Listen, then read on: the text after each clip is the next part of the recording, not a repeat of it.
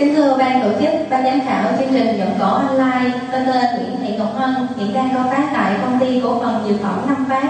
Hôm nay tôi tham gia chương trình với hai câu dược cổ trong bài Khung trời miền hạ, sáng tác của Việt Sơn.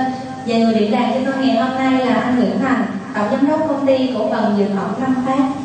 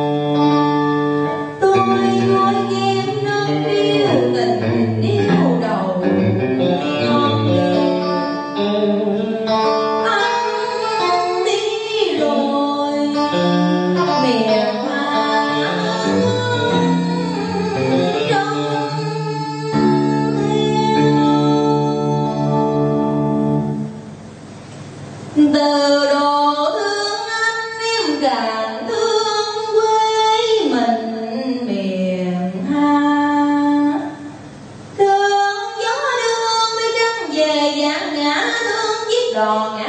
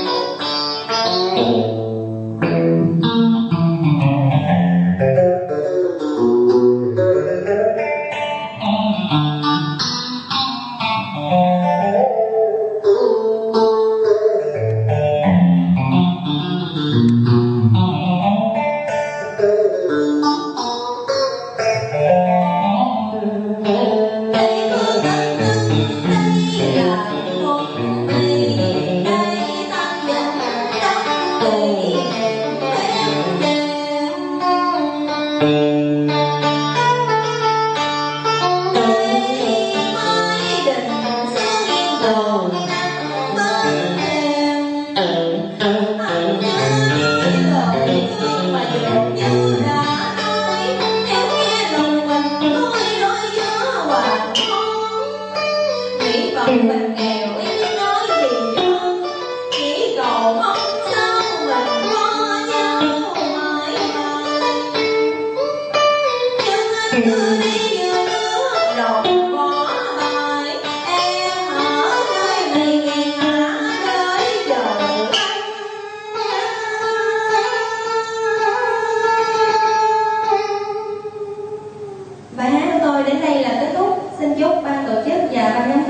nhiều sức khỏe.